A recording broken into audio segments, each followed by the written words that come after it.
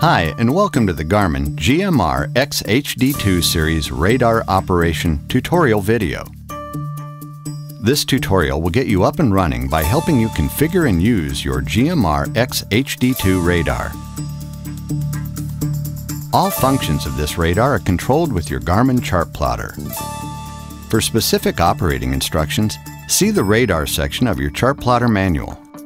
You can download the latest version of the manual at garmin.com/support. But before you are ready to use your radar, there are some steps you must take first. Garmin constantly improves and updates software programs to improve operation.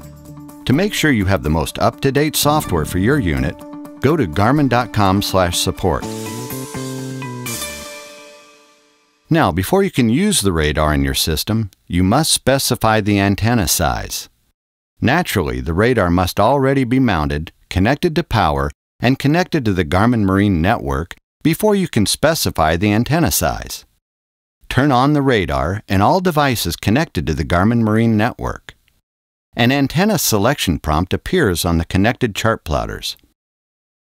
Note, if the entire system is being powered on for the first time, the antenna selection screen is part of the initial setup process. Now, select the installed antenna size for each GMR XHD2 open array radar installed on the boat. If you need to specify a different antenna size, while viewing the radar screen for the radar you want to change, select Menu, Radar Setup, Installation, Antenna Configuration, Antenna Size, and select the antenna size. The front of boat offset compensates for the physical orientation of the radar scanner on a boat if the radar scanner does not align with the bow stern axis. So we'll need to measure the potential front of boat offset. To do that, we'll use a magnetic compass to take an optical bearing of a stationary target located within viewable range. Then, we'll measure the target bearing on the radar and compare the two. If the bearing deviation is more than plus or minus 1 degree, you need to set the front of boat offset.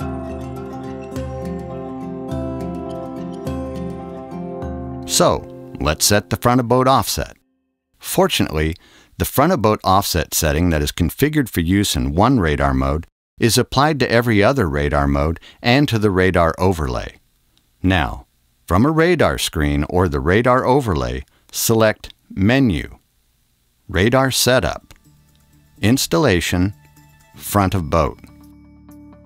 Select up or down to adjust the offset, and that's that.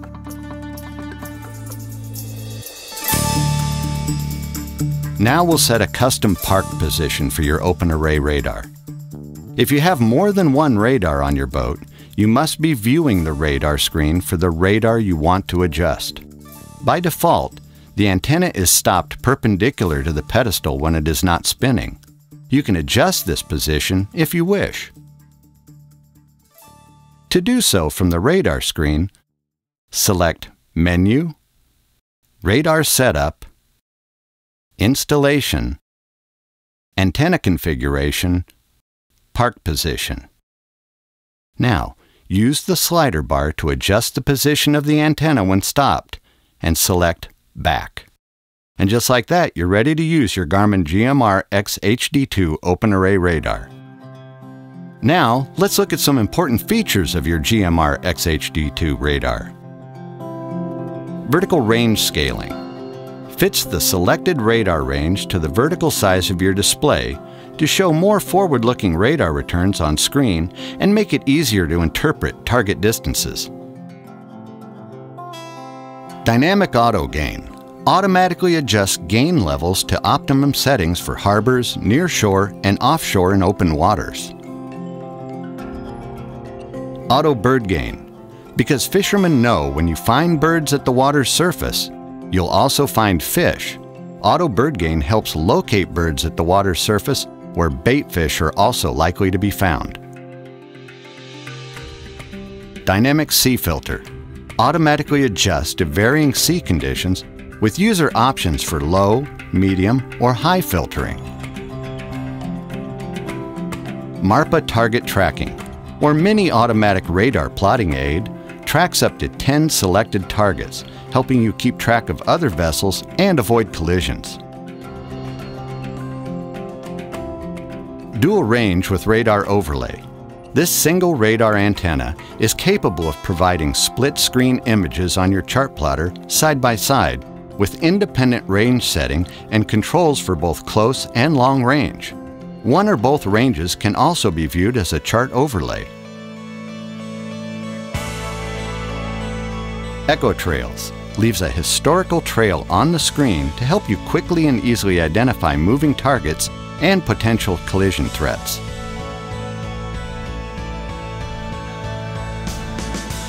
Pulse expansion provides the ability to increase the duration of the transmit pulse, which helps maximize the energy on targets. This provides a larger target size on the chart plotter. Well, that about covers it. Now you should be able to apply the features of the GMR XHD2 radar to enhance your situational awareness on the water and also enjoy some advantages while fishing.